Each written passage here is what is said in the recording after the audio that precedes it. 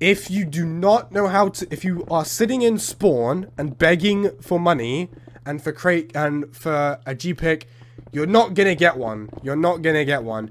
You might come across someone that does it is just gonna give you one anyway. It might be some like detect one or miner one pickaxe.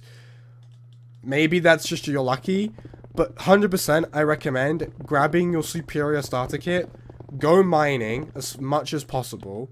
Just do what I'm doing now you will get keys. It might take an hour, two hours, three hours, but you will get keys. And then after you get keys, you just keep opening them, opening them. You'll get shards, you'll get obsidian. Just sell, sell the books you don't want. Keep an eye on the black market. You see a detect book or a miner book, buy it instantly.